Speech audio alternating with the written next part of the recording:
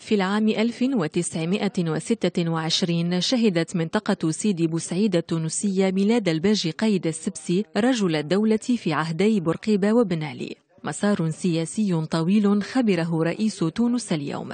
منذ شبابه عمل السبسي في الحزب الحر الدستوري الجديد. وبعد الاستقلال عمل كمستشار للزعيم الحبيب بورقيبة ثم كمدير في وزارة الداخلية. في العام 1963 عين على رأس إدارة الأمن الوطني ليعين بعدها بعامين وزيرا للداخلية كما تولى سفارة بلاده في باريس الفرنسية. في الثالث من دجنبر سنة 1980 عمل كوزير معتمد لدى الوزير الأول محمد مزالي. وبعدها بعام واحد كان في انتظاره منصب وزير الخارجية خلفا لحسن بالخوجة.